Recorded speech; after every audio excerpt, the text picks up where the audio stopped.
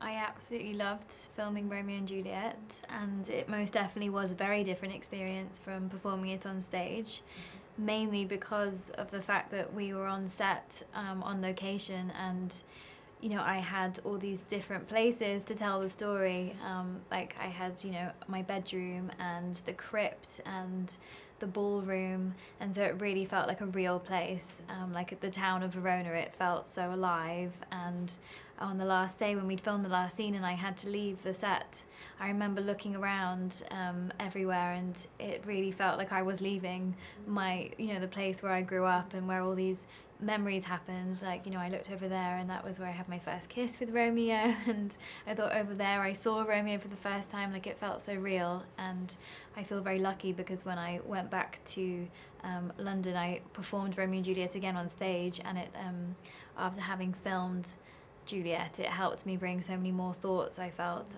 and emotions to her that I hadn't had the chance to think about before.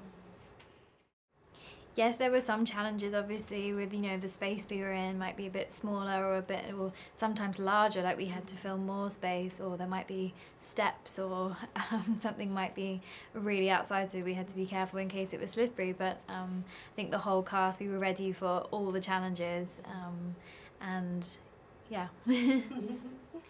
I hadn't actually danced with William before. Um, we both went to the Royal Ballet School together. He was slightly older. Um, it was lovely to dance with Will. He's such a lovely person too and a great partner and he's also very present in the moment which was great because it felt like we could be very spontaneous and very natural um, and um, we had uh, I, I really remember filming the balcony scene for example and that was actually my birthday the day we filmed that scene.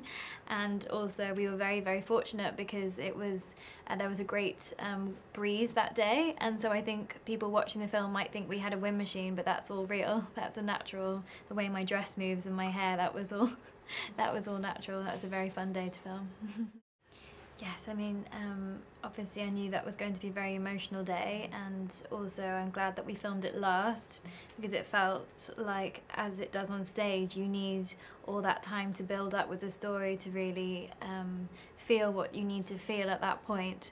So it was the very last scene that we shot um, and it was, it was very tough and, um, you know, also we were encouraged to sort of sometimes if we needed to cry we were allowed to make noise as well um, and that was very helpful to you know portray the right emotions at the time and also I think more effective when you watch it on the screen.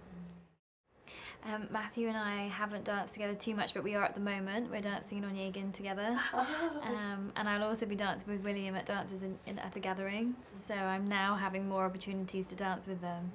Um, but yes, it was just fantastic to be on set with, you know, with friends and to know people so well, but yet their performances can still feel so real to you, and you can still, because they're such great artists, you can still detach them, yourself from the fact that they're your friends. And I really believe that he's, you know, Tybalt, and um, I believe that William is Romeo, and etc. Yeah. I think all the Royal Ballet, we're all very close with each other. It feels very much like a family. Um, but we also felt so passionate about making this film and um, making it in such a different way and um, bringing this story to life, you know, as no one's ever seen it before. I absolutely love Marcelino. He is um, such an amazing spirit, and I think he was absolutely perfect for the part of Mercutio. I mean, it's very difficult technically, Mercutio, which obviously he does so fantastically, but it's it's more his character and his soul which he really brings Mercutio to life so amazingly. Um, I mean, on set, actually, Juliet and Mercutio never meet. In the story, really, I don't I don't meet him, but obviously, I've had so many amazing opportunities to dance with Marcelino in the past. Yes. Which I actually really enjoyed. I think it's a good um, a good idea. We should bring maybe back to the stage. he actually had an opportunity to perform Juliet once in Tokyo with Steven McRae. I love the progression from the beginning to the end, that she's a very young girl, but yet you have an opportunity to make her so strong and, um, and brave. Um, and I love being in Act 3, especially on stage, because you're really by yourself for so much of the ballet and you sort of lose yourself in the moment you forget that you're the only person on stage and you just become so in the moment and so um, lost in your own thoughts that it all feels very, very real.